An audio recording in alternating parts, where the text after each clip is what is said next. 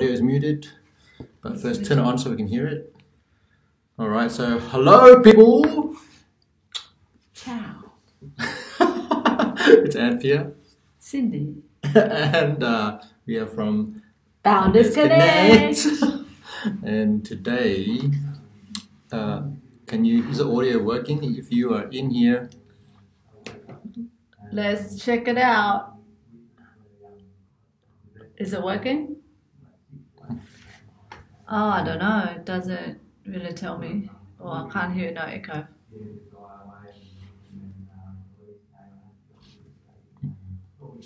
No echo? No?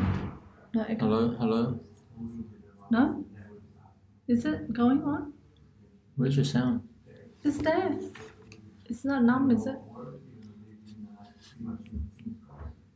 No. Um, Hmm. can you That's try on the phone? Well, like we have another technologies. We're gonna test on. Oh man, our first one is no problem. Interesting, right? It's on. Yeah, it's working. I got it. I don't know why your audio is not Who working. said it's on? Yeah, it's on. I can hear it. Someone says it's on. Our first one, no problem. Oh well, So- I don't know. What's something wrong with my audio? Anyway, while Cindy works out what's going on with her computer, Yeah, sorry hello, about we are live. Yes. So let's get into today's live Q and A. And um, what is today's topic, Cindy? How to communicate better with your partner. okay, Live Q and A. isn't that's it? right. And uh, we are. This is uh, basically the topic of this week's uh, article and well guide that we've created, and which is now live on our website. Um, if you want to go check out, we have a free guide to couples communication. It's um, at the link on the screen. You might want to screenshot that and just go there. Or Cindy, you can drop it in the chat. Actually, that's probably Sure, I will drop it in the chat. you click on there. Yeah, and now you can just put it in. Yeah. Okay, cool. Yeah. So that's the URL. Okay, Okay. drop it. Drop it.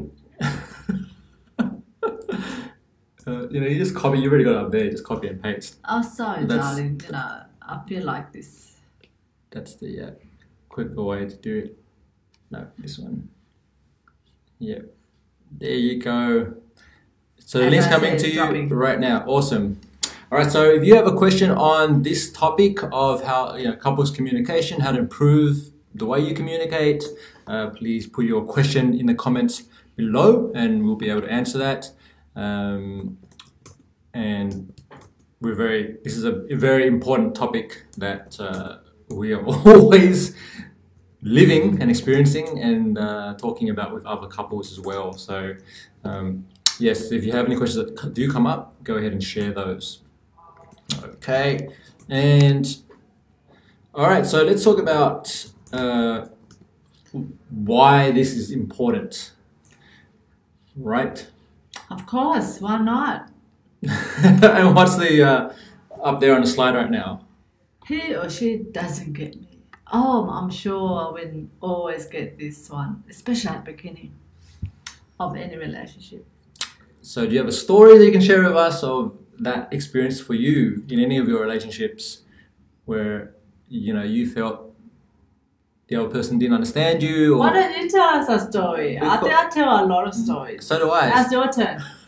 Come on, Mister because it's different. I'll, you you share. I'll share one as a husband. You share one as a wife. Okay, What's- you share yours. Okay, well, um, I'll tell you uh, one that we had that was very real at the beginning of our relationship where uh, one time Cindy was over at, when we were still dating and Cindy was at my apartment and something was going on and there was like tears, a lot of tears, uh, and it went like not just crying but bawling uh, all night. and I, And uh, Oh, I didn't remember that. uh, do you remember it now? Yeah, thank you for the reminder. yeah, and so you know, in that moment, I felt like I didn't know what uh, what was happening. I didn't know what you what you were trying to communicate, um, and because of that, I didn't know really how to respond to that. And, I, and my immediate thinking in my brain was, "Oh my gosh, this is this is it. The relationship is over." You know. yeah, basically um, almost. and so there are moments like that where you just don't know what the other person is expressing, um, and it, it's it's hard. It's hard to, to, to work through that, and, and if you don't find a way to improve and understand each other, then that can lead to problems and complications with the relationship further on. And- Definitely. And, for some couples, it ends up in a breakup, a divorce, whatever it may be. Uh, Exactly. So, what would you do in that situation? Well, are you asking me? You're asking people, people watching? what did you do? Do you remember? Yeah, so I just basically, I just, my main thing there was to be as supportive as I could in, in try and demonstrate that I wouldn't leave because I think that was an important part of that communication. So I sat down on the floor with you and, and held you um, and said, look, you know, and I just let you allow you to feel those emotions. Um, and, and whatever was going on in my head, I had to not tell myself these stories that were just stories and not real right like because it's very easy to say oh you know oh, it's my fault i messed up you know, whatever it may be but the fact was i didn't know what was happening. So um, and i actually expressed that verbally to you as well. I said i don't know what's Yes, going on here. definitely. So after that, we had a really nice chat as to what has just happened, and we also communicated what we felt at that stage and how we can deal with that when it comes up again, if it ever, isn't it? yeah So, you know, sometimes you really cannot get a girl. You know, women are just too complex for men to ever understand. i would agree with that and i've coached women like for a long time so you know Yeah, it's true, but ma- majority of time when you uh, know each other long enough or you connect well, uh, you do get some sort of hints and connection that kind of um, help you with that kind of thing. And uh, to get you a little bit more. So as we grown together and spend more time together, we are now like thinking the same, can finish each other's sentences, isn't it? Almost, almost almost. And uh, you know, basically, uh, if you're really in tune to getting to know the person, that would eventually happen. It's about listening, understanding, actively listening. and yeah and and being kind and uh, forgiving you know uh, and being um, like showing empathy and all these things right? And just being real about hey like i don't know all the answers and but we'll we'll work together. And there are moments when you have arguments or, or disagreements about things uh, and in those scenarios it's something that we kind of adopted i think naturally is that you know we're part of the same team and and we're trying to work through a challenge together uh, and it's never like it's your fault or it's your fault or anything I don't like think this ever, ever, ever said that. right um, or you know or definitely not calling names and things like this because when you get upset or angry um, so something that that I know you used to do used to walk away you know That's a long time ago. so how much I have you grown told him that Yeah. um, before. I think before I met you, actually.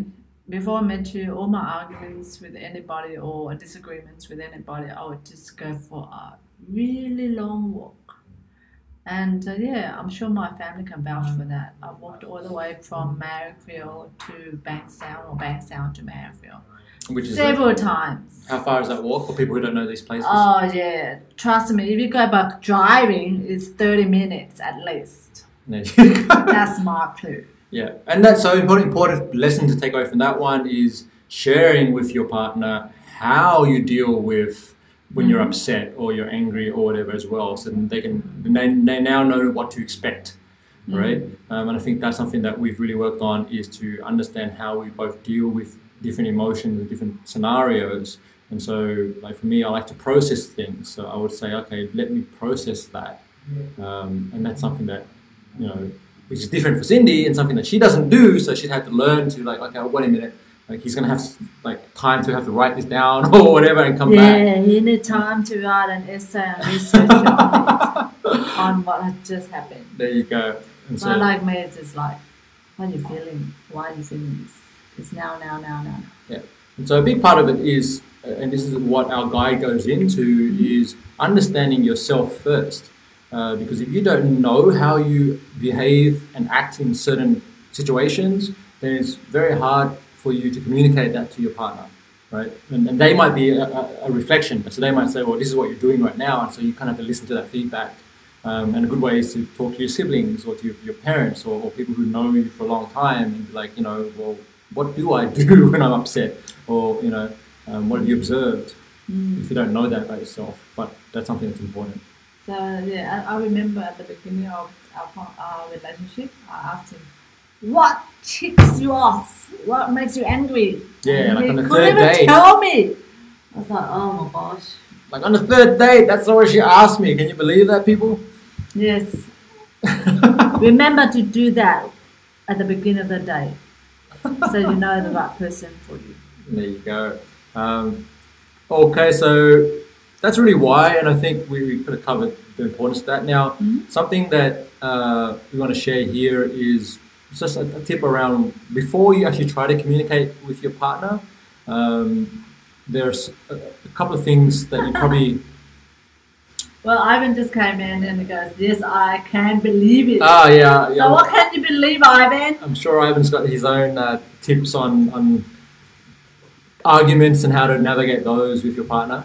Uh, and this is something that's important. Like before you try to communicate with someone, is to don't think about you know how like don't think of how to get your partner to do what you want. Like that's really not the object objective of the communication. Um, and it's not about how to like communicate with him or her in, like like that's not the goal. The goal really is to understand uh, what's important in that communication or in that moment. Um, so there are a couple of questions here that you can ask. Well, four questions here you can ask yourself before you even enter uh, that with your partner. First one being, do you want to feel emotionally connected with your partner? Um, the second one is, you know, how curious are you to learn his or her perspective, right? Um, so this is really like helps you understand your motivation for what you're trying trying to do in that moment, right? Is it about trying to manipulate someone else? Is it about trying to get them to do something, persuade them to see your perspective, or is it really about trying to just understand each other? Um, and doesn't have doesn't have to mean that you agree at the end of that conversation, right? Uh, third question you can ask is, do you care how he or she she feels right now, right? So that's about the answer? Yes, of course. uh, it, you know that's important. If you don't care about what they what they feel, then that's going to just lead to more explosive arguments, or Exactly. that's going to lead up to a breakup. Um, there's a great video we shared on the the guide, Mm-hmm. um, which is actually comedian Ronnie. What's his name? Ronnie Chen or something. The, the guy in. Uh, Oh, Crazy Rich. Asians? Really uh, he does this real this whole bit about um, uh, he does his bit about dating some girl and then they end up watching a video of, Kanye West um, and she basically tells him off um, because of what she sees and, and they get this whole argument and, and this brilliant Oh, punchline yeah. where he says you know like he because him being a lawyer or trained lawyer, Trained so he definitely knows how to, how to debate and argue. Uh, he's like, well, this is how you you. Uh, I won't ruin for you. Just go to the guide and, and watch the video. But it's hilarious. It's a great example. A bit um, extreme, but I can see that happening in, in relationships. So the uh, final question here is, you know, what do you love and value about your partner? Okay, so if you remind yourself about that before you enter a, a, a difficult conversation, um, then that can really help you reset your expectation around what it is that you're trying to achieve from that. Mm, it definitely calms your mind down to whatever high emotions you have that there. Hmm So, uh, Yes, Ivan says, uh, with a trusted partner, if you're open and genuine, you have to put aside any ego and communication about anything. So that basically kind of summarizes that, isn't it, Dan? Yes, yep, and it's uh, trust is such an important thing, and that's uh, something that I've learned definitely from Cindy. Is that something you build, um, and you have to continue to work at. And if you lose that trust at the beginning, it's harder to, to get that back. Not impossible, but it's definitely hard Yes. to work on that. That's the exact words that I told him. Exactly. So I listen. Thank you. Thank you. Finally. Okay. And uh, what else did Ivan say there? So Ivan pointed out about growth. So basically, he said that um, you either grow together or you grow apart. Mm, So that's an interesting point, isn't it? Yeah. So, what uh, advice do you have, or, how have you gone about um, identifying whether or not you're going in the same direction? Curious to hear what sort of strategies you've had on that one, either. Yeah. Uh, okay, so those are questions that definitely, definitely you want to sort of ask yourself before you enter the communication. Oh yeah. And then, so let's talk about some communication exercises um, that that we can do with our partners, right? Um, well, Cindy, do you want to bring Of course. Uh, those? Okay, so So we have there's a NLP presuppositions. okay, so that's that's that's that's um, they're basically guidelines. really, I'll put this into plain English because I, I'm yes, NLP NLP. practitioner, so I've, I've been trained on neurolinguistics programming. Um, And when we were doing our training, we always started with what's called the 13 NLP presuppositions. Um, and they're basically central principles that guide, uh, like principles or assumptions that you use as a coach or facilitator. Um, and it helps frame the work that you do when you're communicating with someone else, okay? And whether you use the NLP ones or you, you just develop your own, that's fine. Um, but what it's really all about is just getting clear on, for example, in the workbook that we're going to share with you, um, there is an exercise there which is all about uh, working out with your partner what your fight your fight rules are. Okay, and that that's basically you know, sitting down together and just identifying, okay, well, here are, if we're going to get into an argument, then these are the certain guidelines or rules that we need to both, we both believe in and that we're going to agree to. Okay, so things like don't call each other names, like Cindy and I were talking about that earlier, uh, or don't, you know, maybe don't raise your voice. And if you raise your voice, then the other person can call, or like say, hey, you're raising your voice, and, and just resetting that, right? What I normally do is try to touch that person or hold their hands to make aware that you're still here and you're on the same side. And that normally calms the person. Kind of the emotion goes further down, isn't it? Yes, and that only okay. So, so coming back to setting those guidelines, that was established as a guideline. And if I'm doing that, that's what I'm. That's what the intention is. Because some people might not want physical touch happening during an argument, right? Because maybe that triggers something they've had in there when they were a kid, and then maybe they were beaten or something. Who knows, But then right? you know. So yeah, so it's important to establish what those guidelines are. Um, so with the presuppositions, if you want to flick back to those, there are a couple that uh, I highlighted in the guide, which I really, um, which really works well.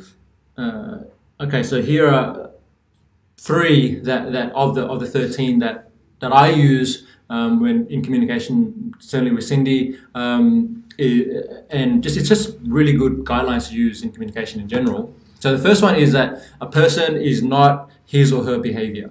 Okay, so That's very interesting. All right, so it's it's you.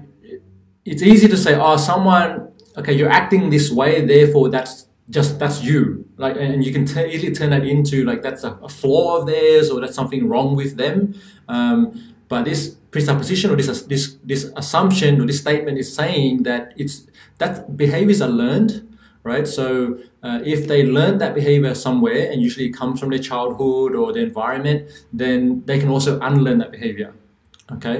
Uh, and so that's not actually a representation of the person themselves. It actually comes from something they picked up somewhere along the way right? And so uh, uh, an example of this is so i knew someone who was in a very uh, violent relationship okay and they would always find themselves in this relationship where the, the so the, the the partner, the, the man was beating them or, or getting physical, um, getting into these like violent situations, uh, and but that's the violence. It, it, it came from when he was abused as a child, right? And so that was a learned behavior, um, or or actually for her, she had um, she had a similar situation where when she was a child, she would be shouted at, and and her, dad was an alcoholic or whatever it may be, uh, and that she was used to like love. Her her meaning or definition or view of love was that when I when someone is shouting at me or getting physical with me, that's love. Okay, and and Yeah, it's very interesting how that translates, especially when you're young. Right. And you see a lot of that from your, you know, close ones. Yeah, and so that's a, that's that's a learned behavior. So what happens when the child becomes an adult is they expect that to be love, right? Because they've not had any other way where it's like, well, actually, that's not that's probably not a good thing to be happening in your relationship. Um, and so they had to learn, okay, actually, someone doing that to me, that's abuse, and that's not okay. Uh, and so they had to unlearn those behaviors and, and re- reframe uh, and re-educate themselves on what you know different ways of receiving love. Okay, um, that's just an example. Now, uh, another presupposition we've got here is um, behind every behavior lies a positive intention. Okay, uh, I'll say that again. It's behind every behavior lies a positive intention, and this one we see a lot in our relationship and, and, and when, the, when other friends and whatever get into arguments or, or disagreements it's like um, like I- Perspective, I, think. yeah it's it's like so i might want to do something i might do something and a behavior an action that i'm doing it might with positive intention so i actually want it to do it because i feel that it's going to help our relationship in some way or, or i'm showing some kind of gesture um, but because of the way i'm doing it or maybe because i'm not doing it like the way it's not effective in the way I'm communicating it, Cindy might receive it a different way. And this is actually a really good example of this is one of the exercises uh, that the first exercise in the workbook is um, doing the love languages exercise with your partner. Yeah, it'll help a lot. Yeah. Trust me. And so we've we did cover this in the previous um, Q and A and whatnot, but the love language and also on the podcast episode. Um, but the love languages are basically there's five. Do you remember what those are? Physical, which is touch. Touch, yes. Gifts, Receiving gifts or giving gifts, yeah. verbal, which is words, speech. Act of service. Yep. Oh, what's the last one? Auditory? Is it? No, that's words. Quality time. Quality time, that's right. Okay, so there, there. So love languages. If you're not familiar with the concept, it's basically there's a book and there's also a whole. Uh, just check out the love languages test. It's, it's free. It's online. It's also the links in our guide. Um, and it basically a study has been done on, on the way couples communicate, and it comes down to like distilled into five ways that we like to receive and give love. Okay, um, and the problem arises when when two partners have different love languages as their primaries, and this happens quite often, actually, more often than not, uh, and when one partner communicates in their, the way they prefer, but not the way the partner prefers, then that causes problems because the partner is not feeling that love or not receiving, they, they're not sensing that um, because they would prefer to receive that love in a different way. So let's give a practical example. So Cindy is a Act of service. act of service person. Okay, so So what does he do for me? Wash my dishes. so, so I'll do things like literally yesterday and lift up this heavy box of clothes and things and put it up on a shelf and down and, and these things. oh, that's true. a- see, these, these are physical things and they're things that, that the acts of service, right? Um, Yes, because uh, you know, I'm a shorty. and it's also that's what that's how she likes to receive love, uh, and it's very different to if I were to give her a box of chocolates or something like that. Like the the that's still a, a- a- an indicator, but for her, it's like maybe it's not No, as I need you to do stuff for me. There you go, see? Right? So it's it's learning, you know, what your primary, secondary, whatever is, and then what your partner sees, and then, then you're able to then have a conversation about that and communicate with each other, you know, based on that um, those languages. And so that ties into the presupposition I just shared, which is behind every behavior lies a positive intention. So even though my positive my intention is to make my partner happy by giving her a gift, right?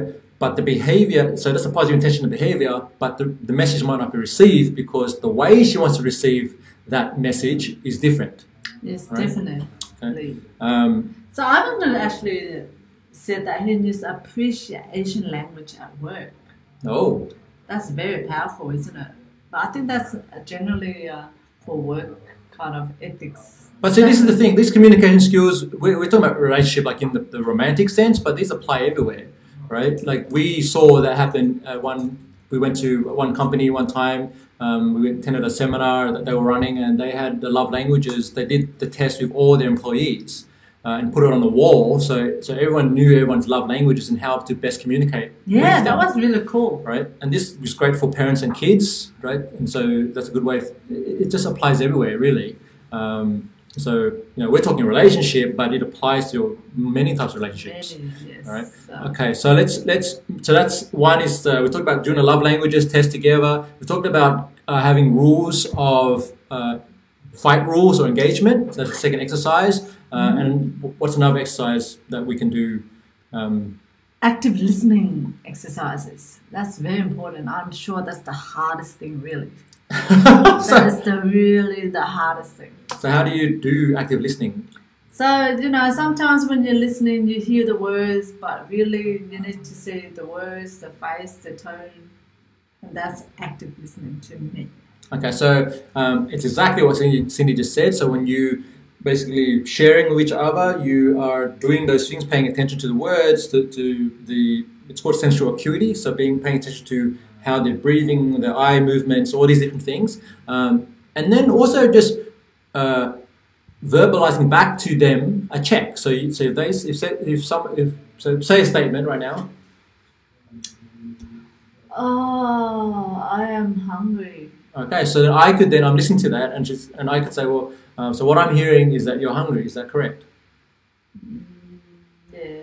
okay, so so that's active listening only works if you uh, replay back to the person what you've heard them say, Mm. right? And then you can you can then say, well, you, that's not quite right. Yeah, Right. that's not quite right. I'm hungry, but I'm also lazy to get food. Okay, see, Like there you tone, you know. there you go. Okay, Okay, so tone. so that clarification is the that's a big part of the active listening exercise. Okay, See? so you can do that with each other. Hint, and- and- hint. uh, Ivan's got it there. He said, you know, paraphrasing back also helps in active listening. Okay, so you can Excellent. you can say what what Exactly. you, you think you've heard them say, but back in your own uh, in your own way, and, and just get that verified and validated. Right?